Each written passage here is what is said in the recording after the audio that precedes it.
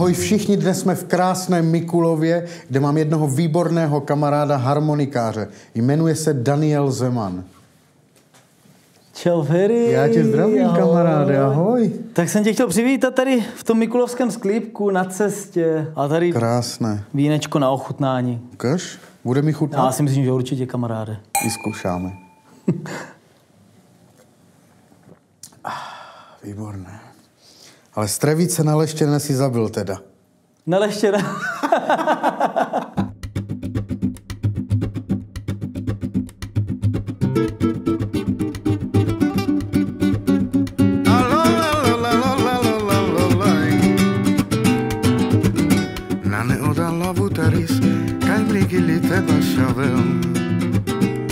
Umba shavelam ropirano mojov lačo lavutaris Bašavelam ropirano Mojo flačom lovu taharis A la la la la la la La la la la la la la Dane, ty jsi v podstatě samouk. Jak se vlastně stalo, že jsi takhle vypracoval, že jsi tak dobrý? Začalo to tak, že jsem vlastně hrál na tu harmoniku v hudební škole. Tam jsem hrál pět let, jsem tam chodil. Pak jsem to nějak usekl, přestalo mi to bavit tam. Víceméně jsem tam chodil tak poslední rok třeba už tak z povinností jako jenom, jo. Až v 15 letech jsem začal hrát jakoby na akordeon, že jsem prostě, mi to nějak chytlo. Bratranec měl doma akordeon, půjčil mi to. Jsem si to vlastně půjčil od něho domů. Začal jsem na to hrát a začal jsem z ničeho nic prostě cítit, jakoby, že s tím úplně nějak s tím ladím a jakoby cítím to, víš. Vlastně od té doby se toho držím, od těch 15, jakoby tak nějak napevno. A kdo tě přivedl vlastně k té romské muzice nebo k tomu world music, co teďka vlastně hraješ? Tak jsem byl nějak motivovaný jakoby celkově jakoby společnosti, kdy jsem se pohyboval, že jsem chodil na akce různé a tak dále, co jsem poslouchali, jsme, to, co jsme poslouchali jakoby mladí kluci, co si pamatuješ, že ty, já, prostě okolní kapely a tak dále. Ale pak jsem vlastně začal hrát eh, s Rozentriem v Mikulově. To je, to, byla, vaše... to je vlastně jakoby taková... Rodinná kapela. Rodinná taková. kapela, no. Vlastně tam taťka, saxofonista, baskytarista, Joška Zeman, to je Streets. Pak je tam vlastně bratranec, Joška Zeman, kytarista. A pak je tam Dušan Ružička, bubeník, to je vlastně eh, bratranec eh, našich taťků. Vlastně taťku mého a Joškového taťku. A bubeník z Ferry and the Gypsies, ne? A vlastně on hraje ještě s Ferry and Gypsies. Tím, že vlastně oni se znali s jedním kamarádem eh, z Dolních Dunajovic, s Romanem Kroupem, který jich pozval vlastně na svoji svatbu a on hrál s kapelou Terne Čave, ten mm-hmm. Roman Kroupa.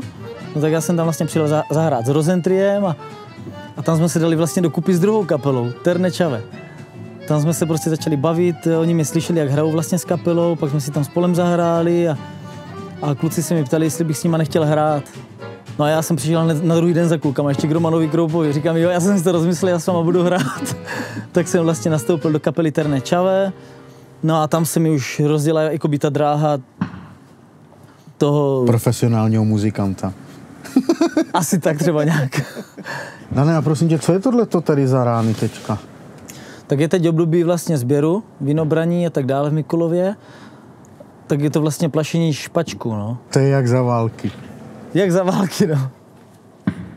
Co vlastně považuješ za svůj největší hudební úspěch? Tak asi tím, že co jsem všechno viděl a zažil jakoby s kapelou asi Terne Čave, že jsme hráli docela velký festiáky Jo, a tam jsme prostě hráli před hodně lidma a to bylo vlastně asi to největší naplnění jako pro toho muzikanta, nebo jakoby pro mě, když to tak beru na sebe, že prostě mě to asi nejvíc tak otevřelo to srdce a, a že jsem začal vnímat tu muziku úplně jinak, protože najednou, když hraješ mezi tolika, tolika lidem, jo, tak je to prostě zas velký úspěch pro toho muzikanta, že se tam dostal vůbec mm-hmm. jako na tady ty místa. Jakoby. Na co se do budoucna nejvíc těšíš? Co plánuješ? Až, při, až přiletím do toho New Yorku. Ale ty teďka nějak čekáš dítě, ne? Nebo jo, něco? čekáme. Tak asi na to, ne? Jo, čekáme chlapečka, takže na to se úplně nejvíc těšíme. Super. Až pak ten New York. tak Ferry, víš, že dneska budeme spolem hrát? Ne. Tam, nahoře. Víš, co to je? Zámek. Zámek. Hrál jsi tam někdy? Kamaráde, na zámku jsem nikdy nehrál. Tak jdem na to. Jdem na to.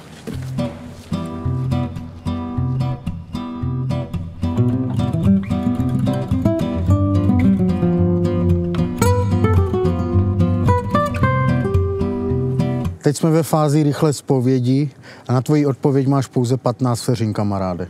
Připraven? Určitě. Takže vinný střik nebo víno a čistá voda. Asi voda a víno zvlášť. Čardáš nebo halgato? Čardáš. Dobrý, čardášek rychlý. To ti sedí, já vím. Určitě. Čím jsi chtěl být, když jsi byl malý? Asi tím automechanikem, už jsem to věděl. Já jsem myslel, že hasič. No, Nás mi to povídal. ale to už je dlouho, že? To jsme byli ještě menší, než jsem Ještě to... jsme byli malí. No jasně, no. Chodíš volit? Ne. Doplň přísloví. Co Čech, to? Frajer? Přesně.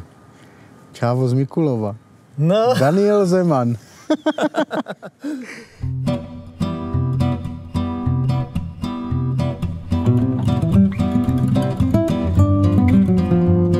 Je to tady krásné, Je to Mikulov hezký. má moc rád, ty víš. A tak proto, proto tě sem vždycky tak pozývám, že?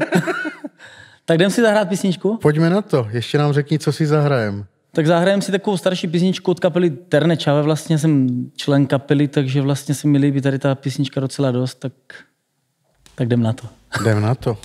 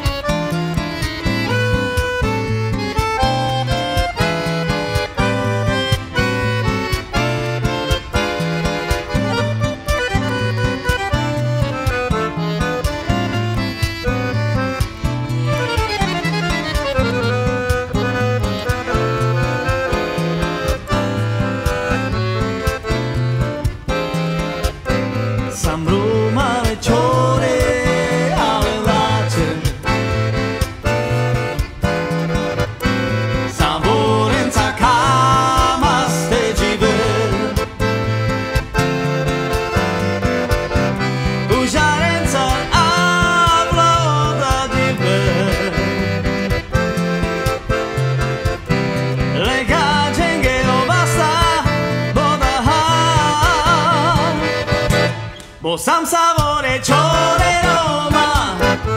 Bo sam savore ciore Roma. Bo sam savore ciore Roma. Bo sam savore ciore Roma.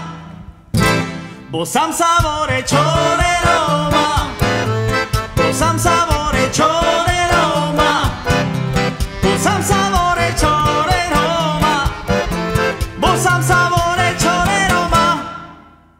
Tak přátelé, to byl Daniel Zeman z Mikulova, akordeonista neboli harmonikáris. tak nějak. A já doufám, že jste si užili krásný Mikulov s námi a těšte se na příští díl Amare Lavutara.